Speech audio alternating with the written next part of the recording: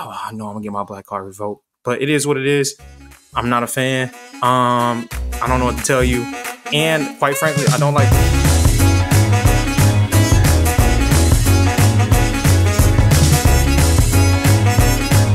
What's going on, guys? Welcome to another episode of Men the Podcast. I'm your co-host Jordan Flowers here with my boy Hill, and we are here on a special day, Juneteenth. We want to express um, a happy Juneteenth to all that observe. Shout out to all our Black people out there, in which we are commemorating um, the day that the last African Americans were notified that they, that they have been freed from slavery. So such a wonderful time for us. I mean, obviously, with our stored he- history of, of slavery and the atrocities that you know were were done upon us for 400 plus years, and to now be able to celebrate in a which we're you know all these years removed, but in a way where we also um, remember all of our ancestors that came before us that endured all those things, and to be able to celebrate our blackness. So we have a really really special episode for us, and I'm gonna let Hale kick it off for us. Yes, and the first thing I would say is that uh, I do not have Juneteenth off, so just want to put that out there into the world, just That to is let people know that uh, I do not have Juneteenth off. No, I don't, uh, and I did not want to take the PTO for it, so here I am.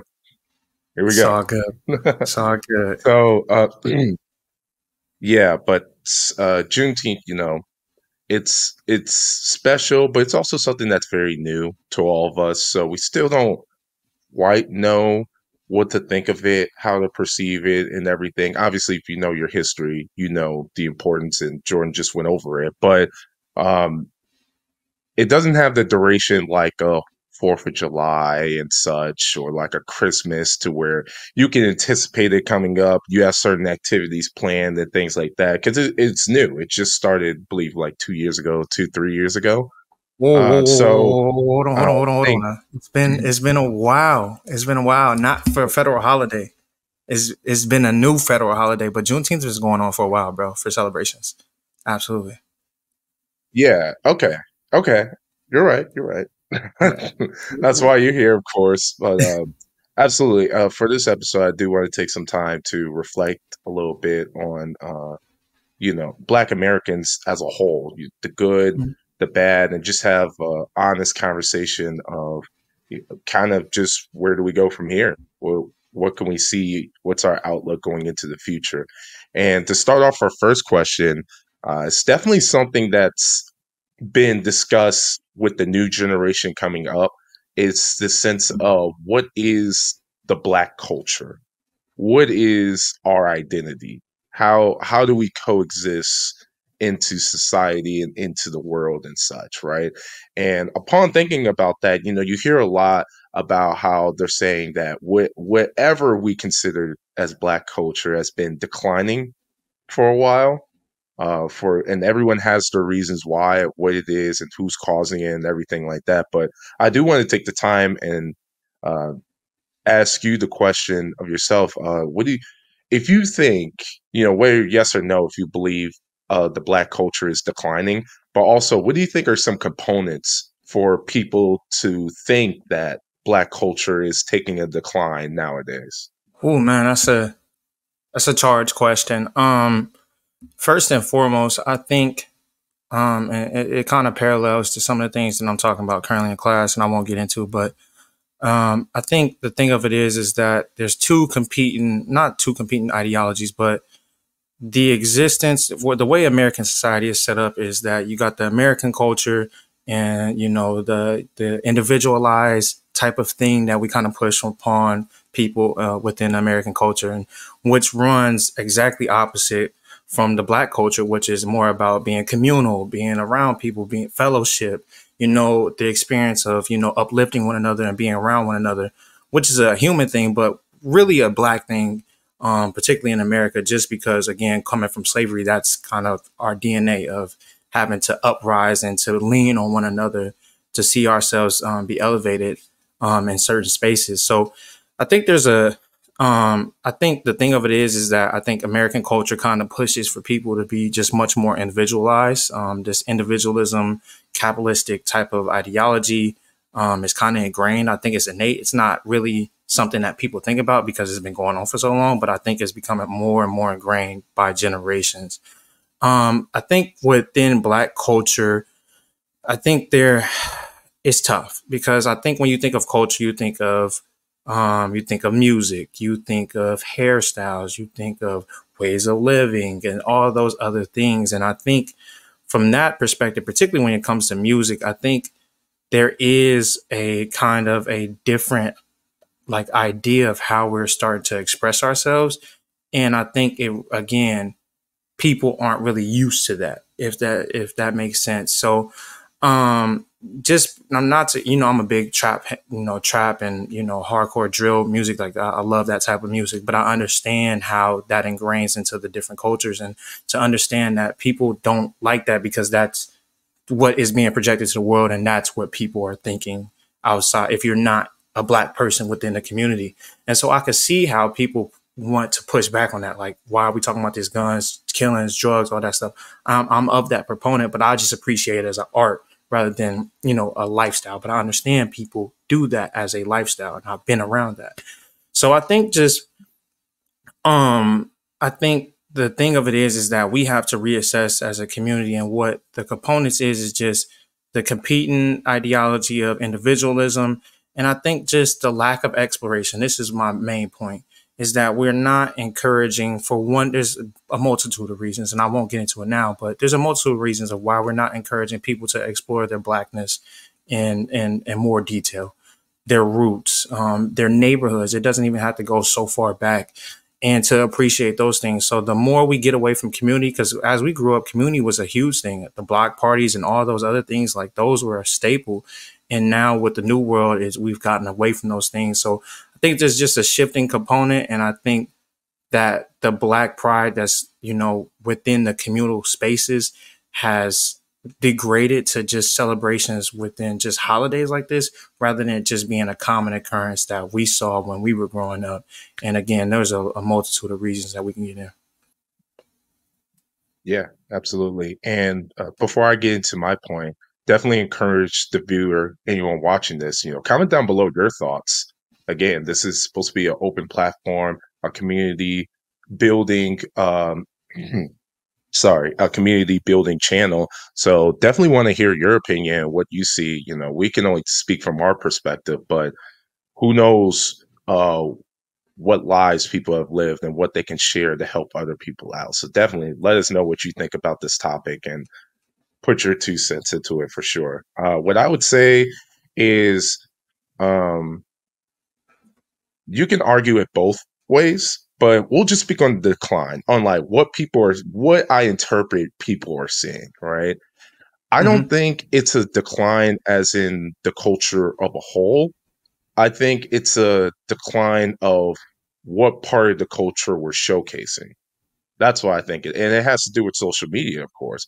So the big thing me and you talk about privately when we're talking about growing a channel and stuff. And uh, my points are like, hey, you know, negativity sells, and hmm. a crazy, very out of pocket, very extreme thinking person is going to get more views than someone who's level headed. That's just how the algorithm's going to work for you. More people are going to comment, more people are going to have something to say.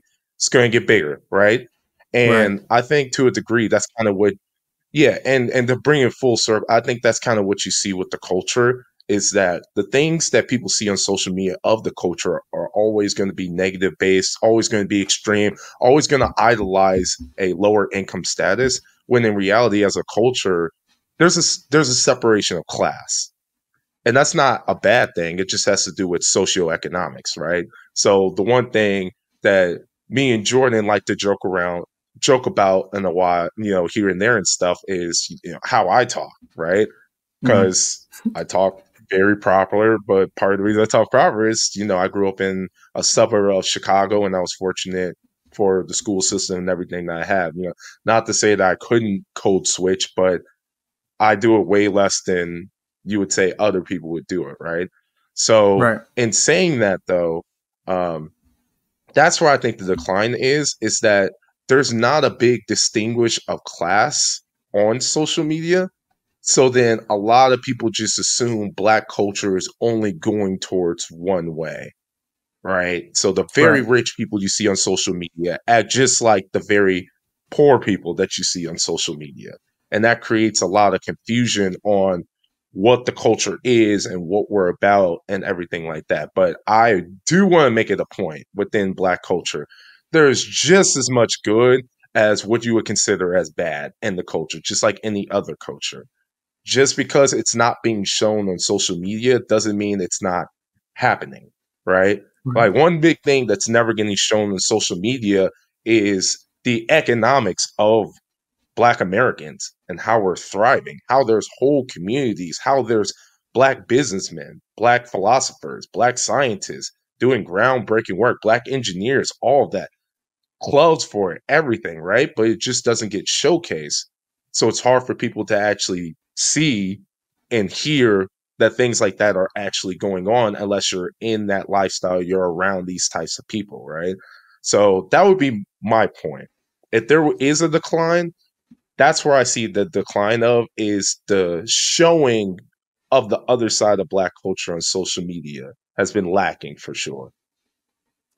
I think you're you're on the. I mean, that's the the biggest thing, and I'll be quick with this so we can move along with the with the the, the episode. But in saying that, though, like there is, like you said, negativity sells, and and the thing of it is, is that there's a lot of great things that are going on within the black culture. Um, I know there's always a meme floating around there about how when somebody get the job, they they get like three likes, and then they portray something that's negative, and they got a whole bunch of comments and all that type of stuff. And I get it from a psychological aspect of why people are attracted to these things and the conditioning that we have been exposed to within this country. Not to get into the ins and outs of that, but just saying I I can get why. But in saying that though, there is a, a bunch of things, even within my community, there's so many great things that's going on. And then you'll touch on that, right? Like we'll highlight that for a second. And then guess what? Like the next day, we off of it. And not not knowing that these things take not only are these people working against the grain because there's a lot of negativity going on, but like it's taking years to build these positive things. And then we get like a three minute segment of something positive that's taking five years to accomplish. And then people just totally forget about it. And now we on to whatever the next thing again that negative negativity that's going to sell um, to get us the rating. So that that's important for us to keep pushing the, the you know moving the needle and to make sure that positivity is starting to sell just on the same rate. But this is kind of the reality where we are, and we kind of have to deal with the reality while also working on the ways of combating those things as well.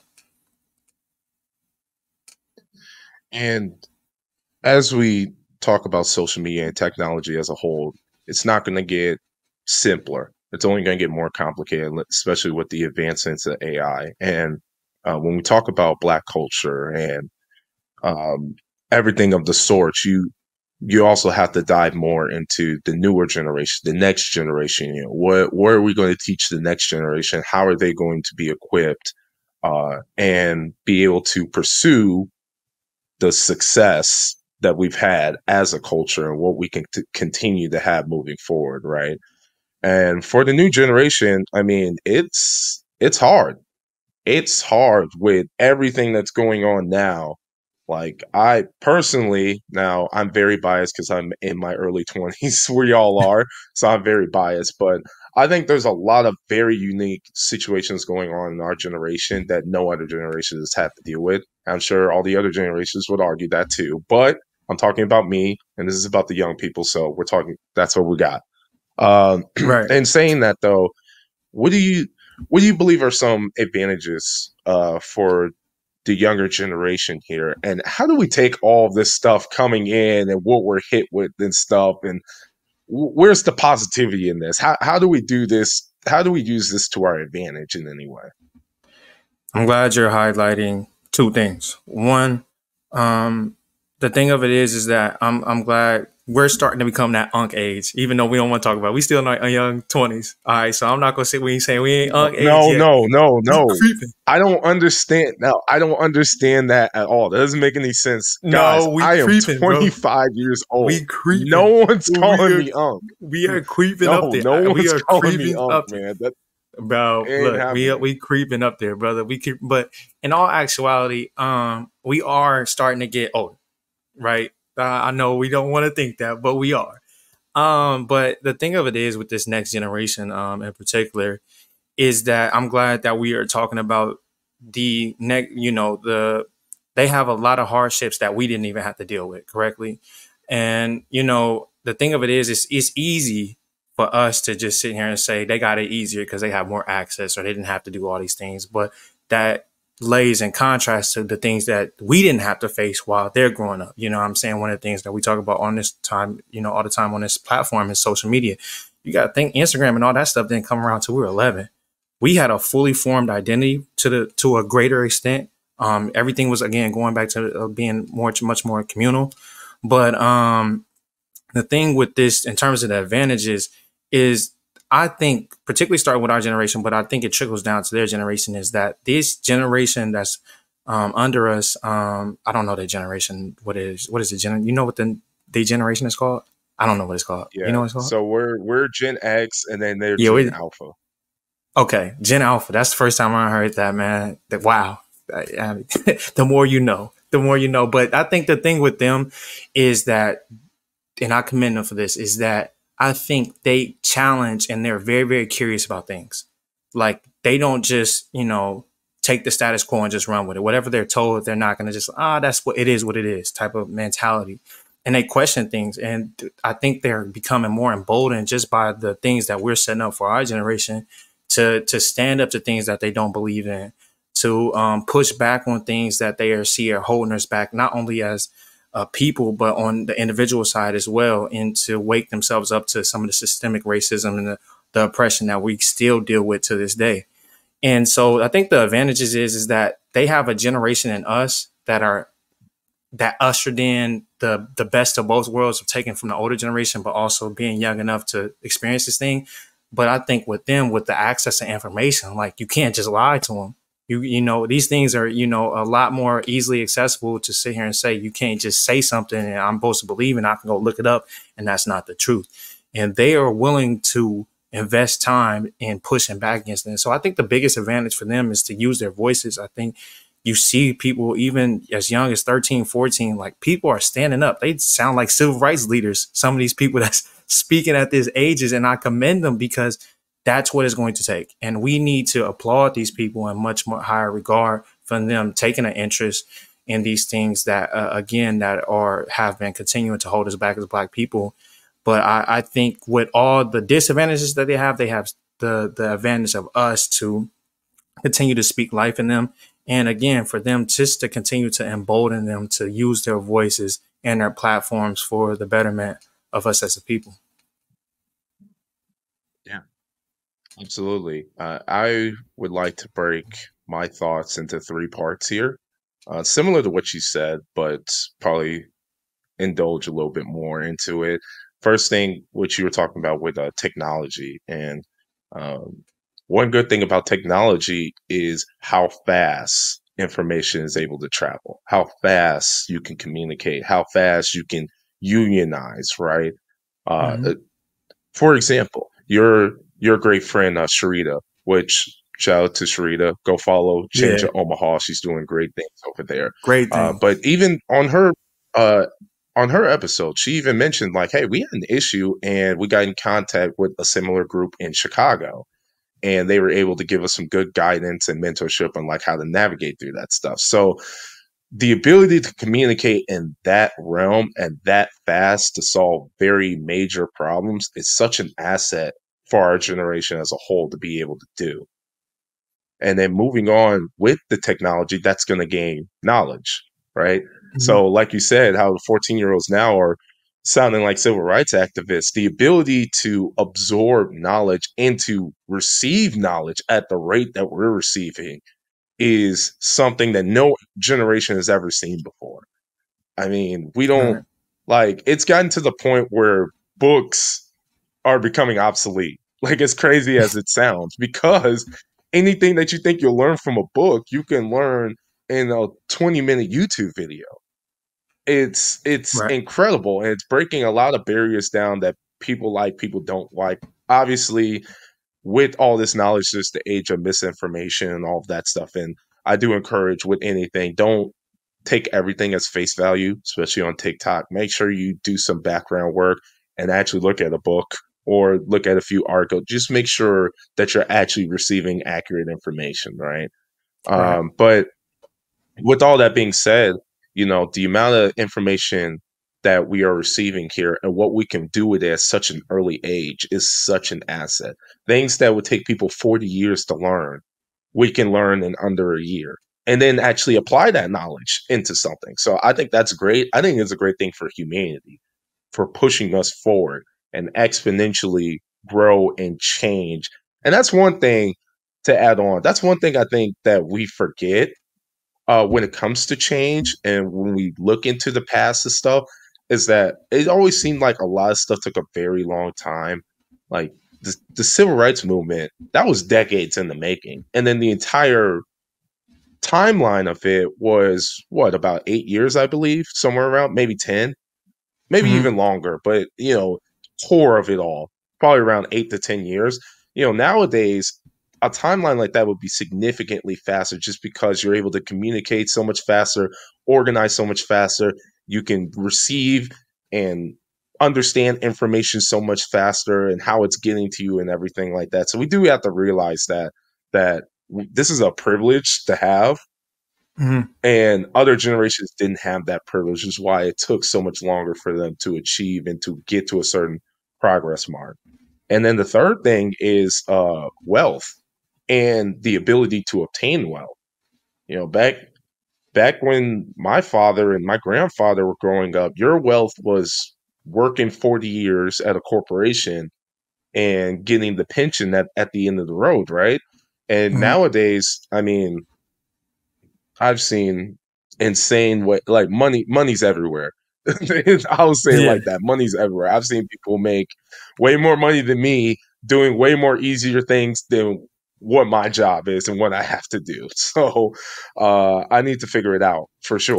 but uh, you know that the ability to obtain wealth and what it's done to us as a community is definitely a benefit. There's plenty of people our age that look back and it's like I'm making way more money in my 20s than what my parents made raising three kids, raising like four kids and things like that. So uh, with that, there's the hope that we use our money for good and not mm-hmm. good as in you're supposed to just give it all to charity. I don't exactly believe in all that. I do believe you should enjoy some of your money.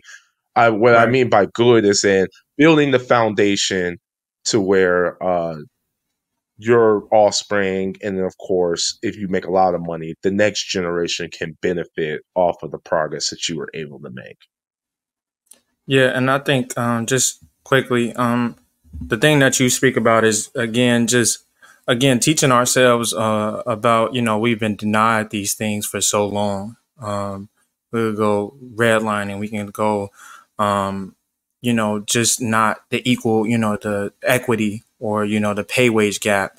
And obviously, with inflation and all those things, we're still, you know, having to combat those things, even with the rising cost of things and we're still getting you know getting more money as it as it comes but you know particularly for us i think we have a lot more leverage um, in today's um, generation um, again i think we we've been brought a lot of things to the table as a people for years but again i think at this point in time you're not able to deny us as equally and give us bs reasons as to why you're not you know paying us on the same weight or you know what i'm saying and again going back to social media like there's a pressure there too. Like if you're being mistreated or things like that, like I can easily go to social media like, hey, this is what's happening at so and so. And you know what the biggest thing about corporations is what? Protect the bottom line. And if this is undermining the bottom line, this person that's, you know, bringing something, you know, a just cause to a social platform, they have to now renegotiate and go to the table like, damn, we got to do the right thing. Let's call a spade a spade. That's kind of how corporations work. And so I think going back to that, I think we have a lot more le- leverage in this generation. We have brought a lot to the table, and now people can't blatantly these corporations and all these these people that have been able to do so do it in a such an overt or covert way without being called out on it. And I think that puts a lot of pressure on them to not undermine their their, their bottom line, and it works in our favor. Now we can just get people to just do the right thing because it's the right thing to do. That's the kind of the next step. Yeah, absolutely. And and talking about uh, people doing the right thing, uh, let's talk about Juneteenth as a as a day here and as a holiday. You know, I'm I definitely learned through my spiel earlier this episode that there are legitimate traditions that have been going on way before this is a federal holiday. So, in the spirit of things, what are some traditions that you think should be cemented cemented in as a Juneteenth thing to do? And then what are some things that aren't typically tradition right now that you believe that we should add to this as as our as is now being a federal holiday? That's a good question. Um, I think the the one thing that I appreciate, and this is a big thing, um, where I come, you know, come back home and, and North Omaha is obviously you've been there. I, t- I took you up there, and you know it's a huge population of Black people in North Omaha, and they um the, the they just had the Juneteenth parade over the weekend, which had a big. It's always every year is a big turnout. My mom was actually in it. Man, I'll probably throw some pictures in here and stuff. So she was really excited about that. And um, but I think having those parades um, and again, going back to my earlier statement about being communal, those parades, those festivals, those coming together, that's the root of Black people is celebration of who we are and our history. And so, I mean, I think there's every every pretty big. I know DC out here had a, a huge one. Again, going back to any major city, I think you have those parades. So I think, again, for us, I think just showing up for per se um, is a really big thing. We go all out for Christmas. We go all out for these things, which I'm all for, you know what I'm saying? But to not go all out for our people, um, I think that's something we should reassess as a people um, is to participate in those things um, that you know and to show pride in, in who we are so i think the praise the festivals the get together anything that brings black people together with you know good drinks good music drink responsibly 21 plus of course but you know all those things that bring people together um, to where we're able to network and just feel one another's love. I think that's the essence of Black people is showing each other love. And in terms of a tradition, I would love for us to kind of adopt is just better education about what Juneteenth is and the history of our people. Again, going back to the exploration of our roots, I think a lot of people kind of know the surface level things. So I think again, encouraging exploration, encouraging what Juneteenth is, what are the things that happen to us, so you know, and obviously that's a that's a it's, a it's a lot of emotions charged with that because you have to touch back to roots that you know um, were not pleasant for us, um, and they they did not do right by us. But in saying that, though, it's the essence of who we are, and we can't run from that, and the resilience that we were able to build from those. So I just think better education about um, for our for our, you know, and obviously making engaging for the youth because obviously, like me just telling you what Juneteenth is, it might not be the most engaging at six and five years old you know, make it engaging. Do these things that engage the youth to have pride in being black and to know what their blackness means and to then encourage them to establish what black means for them. You know, not just what I tell you what black people or what it's like to be a black person, but what does it mean to be a black person to you? You know what I'm saying? So that they're able to solidify that identity for themselves. So I just hope that we keep encouraging these young people to not just be just individuals, but to to have pride in being a part of the community that's continuing to to see ascension over you know the span of generations to come. Yeah, I think you covered pretty much everything that needs to be said uh, on what we should do for sure. Uh, if I could put some two cents into, into that, I definitely agree on the community part festivals. Absolutely. I think that's an amazing thing that we should do. Uh, and anytime you do something to bring a community together, it's always going to be a positive, I believe. So I definitely, I definitely agree with that. I'm going to do my best Jordan Flowers impression here, but I definitely want to double and triple down on history. History. History. History. All right. Yes. Gotta sir. know your history. All right. And and part of knowing the history um is the application of history. And I that's what I'm big on. There's a lot of people that regurgitate a lot of history, but there has to be some type of applying. Like now that I know this information, what am I going to do with it? Right. Mm-hmm. And I think one thing I want to challenge everyone listening to this, and then as a whole, when we look at Juneteenth and we start to learn about our history and everything of that nature, One, it's a good time of reflection. I think that's very important. Maybe even grieving. I mean, again, uh, my grandfather was of my age around the civil rights movement, somewhere in that range, right? So the scars uh, of generations, there's definitely you definitely need to have that. But another thing, I it should be a sign of encouragement too to say, look at everything we've been through as a group of people, and look at where we are now and what we can do. So when we talk about giving people history perspectives and everything like that. I don't want it to be something to where we look back at history and now we're all sad and now the music stops playing and now we're just sitting quietly like we're sitting at a funeral or something like that. I want it to be a sign of encouragement to motivate the people of the next generation to again, no matter what happens, we are a very strong group of people. We are resilient. We can do anything and everything we would want to do if we work together, of course. So I, I very hard when it comes to learning the history to also push the narrative in that perspective to say like, um, not that everything's a positive, but in retrospect, make it a positive, right? Take all this information and make it a better world, a better society for yourself and for everyone around you. Absolutely. And before we wrap up, because I know we got time constraints, Got a quick hitter for you, dog. I need three black food items that is a must at a black event. Go. I need it. What you got? Mac and cheese. Mac and okay. cheese, hundred uh, percent. Mac and cheese, one of the greatest food dishes ever made, known to man. Okay. Mac and Absolutely. cheese. Uh, I mean, you're gonna have to do fried chicken even though you can okay. do that for anything, you'll have to do fried chicken. I, it'd be ridiculous not to. This okay. one's tough. Uh, I'm a bigger guy. I'm not that into vegetables like that, so I'm gonna get a lot of rap for not putting greens in on this. But I, I'm putting in yams. I'm, I'm throwing okay. yams in there. I think. Okay. Listen, a good dish of yams.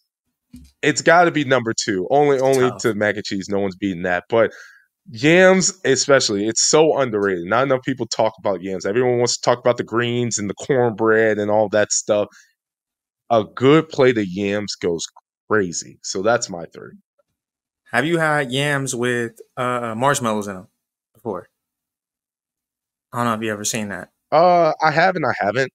I haven't i okay. haven't. Uh what I would say is good yams are good yams. So if people know how to make it with marshmallows, it's going to taste really good people don't, still going to taste really good.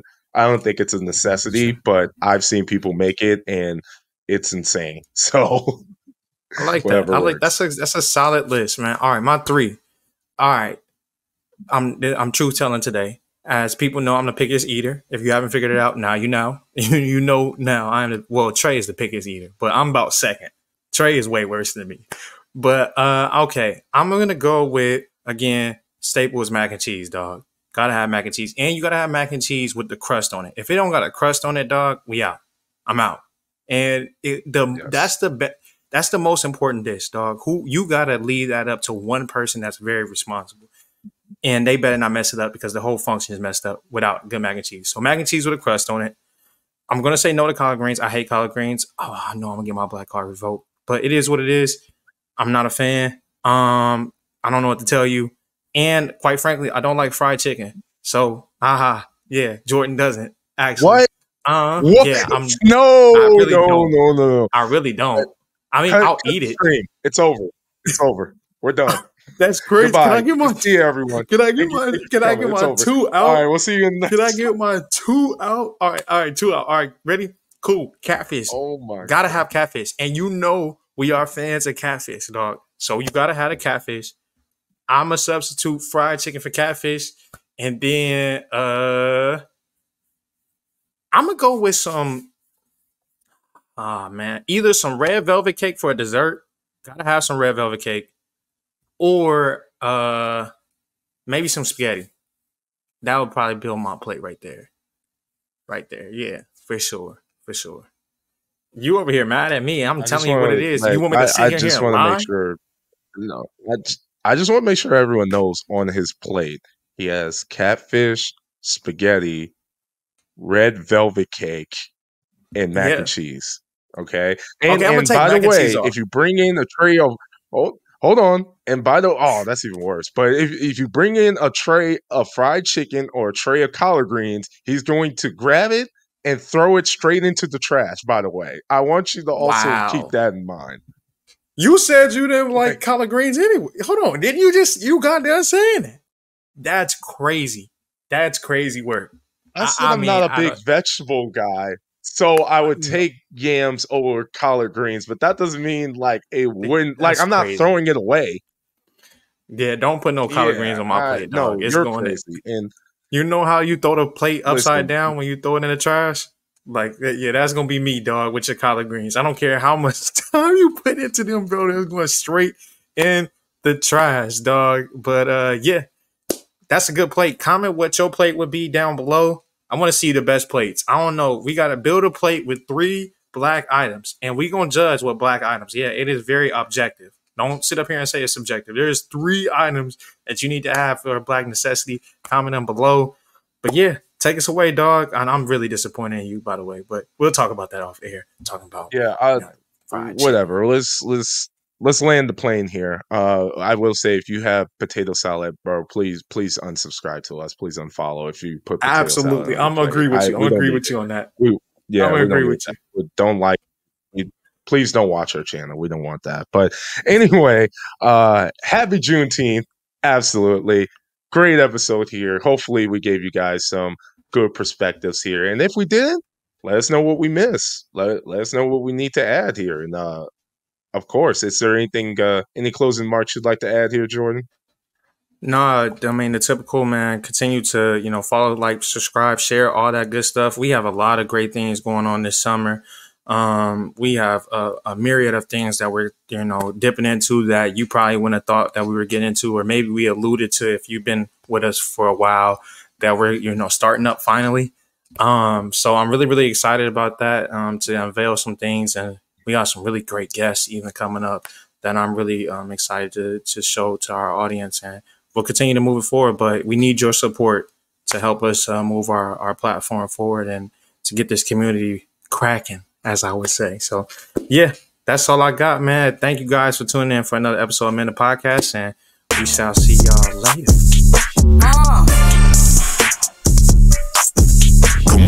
Ah.